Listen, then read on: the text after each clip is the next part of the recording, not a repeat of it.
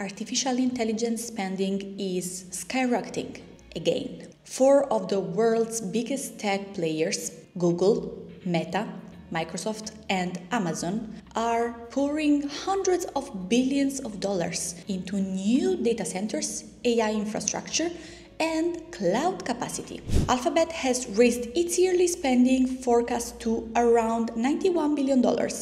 Microsoft's latest quarter reached $35 billion, five more than expected. Meta, at least $70 billion by the end of the year. And Amazon, the most aggressive, about $125 billion in capital expenditures with plans to grow even more. Together, these four have invested over $360 billion in just the past 12 months. And they are still saying it's not enough. Let's dive in.